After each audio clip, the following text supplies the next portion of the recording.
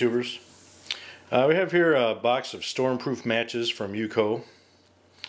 Uh, says it burns in harsh conditions.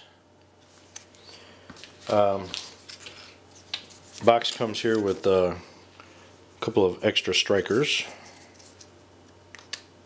for whatever. It never hurts to have extra. Um, you know, in case this one on in case the box gets wet or whatever. Um, you keep those other ones in a dry place. uh, these are windproof, waterproof, and in general stormproof. And they have uh, one, one box comes 25 matches, and it has a 15 second burn time, which is pretty good.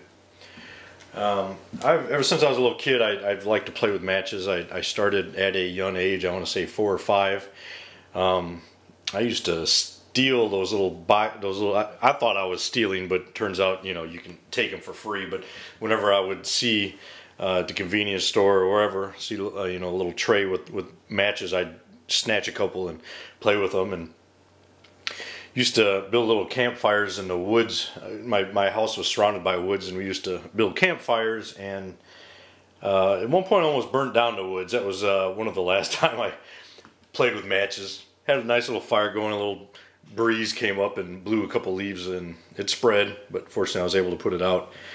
Uh, it was kind of scary, so didn't play a lot with matches after that.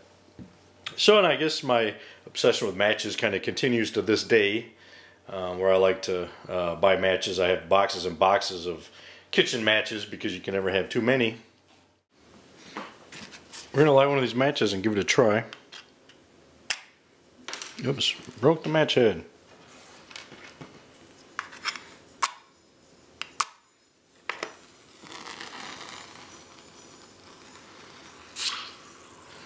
So you can see the bubbles in here as it's still lit. You can pull it out.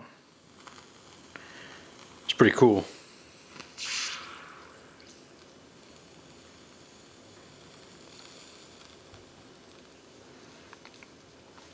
You might notice, uh, I think the most of the waterproofing is on the actual match head part.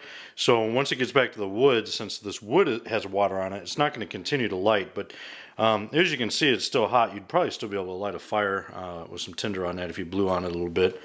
Um, but you, um, you know, once once it gets past the match head, um, it's probably going to go out.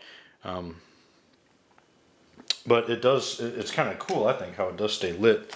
So let's try another thing here. We're going to dunk an unlit one in water. Let it around a little bit. So we're going to pull it out. To wipe the water off it real quick. And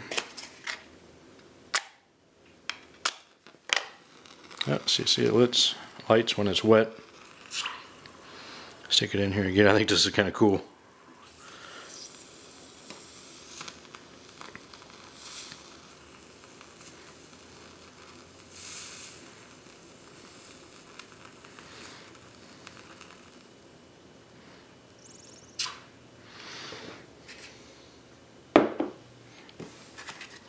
So uh, if you haven't tried them out before, try out uh, Stormproof matches from UCO.